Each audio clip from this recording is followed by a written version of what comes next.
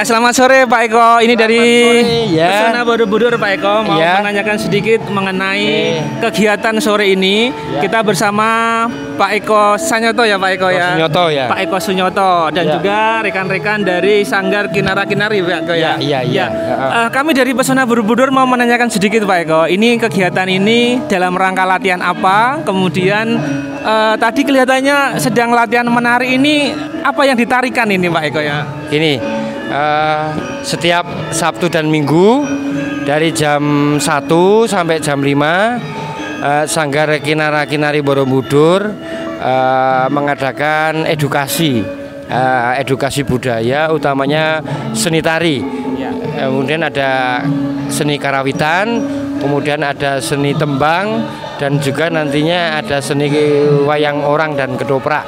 Demikian juga pedalangannya. Ya. Eh, ini hari ini ke bersama anak-anak eh, ada dua sisi yang kami gelak, kami laksanakan di Sanggar Kinara Kinari Borobudur.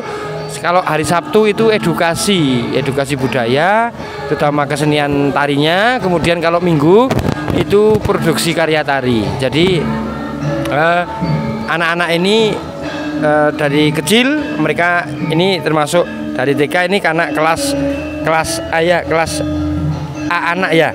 Kelas anak kelas anak kelas A. Jadi eh, dia mendapatkan materi materinya yang ada kurikulumnya adalah satu harus menguasai satu tarian klasik. Yang tadi tariannya klasik ini tari bondan. Ya tari bondan yang menggambarkan tentang bagaimana eh, cara apa itu ada menimang anak, kemudian cara mesusi, ada cara me- mencuci dan sebagainya. Pokok pakai kendi ya itu seperti itu. Jadi nggak termasuk bondan kendi. Kemudian untuk apa? Untuk yang kedua yaitu eh, penguasaan untuk tari kesenian rakyat Magelang. Jadi ada topeng ireng, ada soreng, ada jadilan, ada jaranan, ada kobro dan sebagainya. Kemudian yang ketiga yaitu eh, garapan tari yang sifatnya adalah keunikan tari dari Borobudur terutama tentang candinya. Misalnya di Candi Pawon ada relief kinara-kinari dan itu eh, kinara-kinari di Candi Pawon itu menjadi nama sanggar kami yaitu sanggar kinara-kinari Borobudur. Sebenarnya reliefnya ada di Candi Pawon dan di Borobudur juga ada.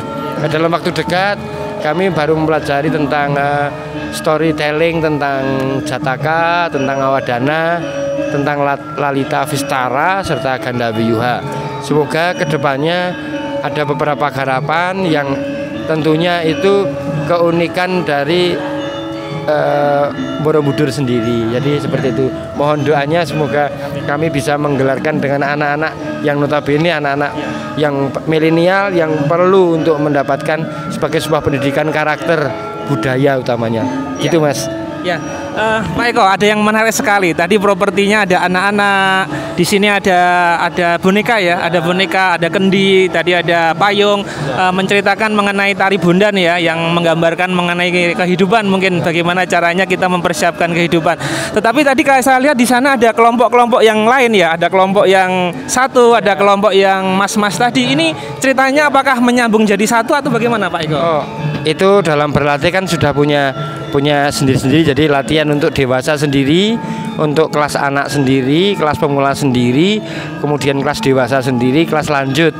Jadi kalau dari jam 1 sampai jam 3 itu untuk kelas anak-anak. Nantinya untuk kelas dewasa nanti di jam 3 sampai jam 5. Begitu. Jadi eh, ada beberapa garapan memang ada beberapa garapan yang harus dilalui oleh mereka untuk semacam sebagai anu Mas istilahnya teknis gerak apa gerak yang kami perkenalkan adalah gerak klasik.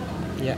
tari, klan klasik yang notabene bahwa ini tarian Jawa Tengah kemudian tari kesenian rakyat yang ada di Magelang utamanya dan yang terakhir yaitu tarian-tarian yang nanti garapan dari Sanggar Kinara Kinari sendiri tentang keunikan-keunikan yang ada di Borobudur hubungannya dengan storytelling di sana di yang ada di istilahnya yang ada di Candi Relief Candi Borobudur kami pelajari begitu Mas. Baik ya, Ye.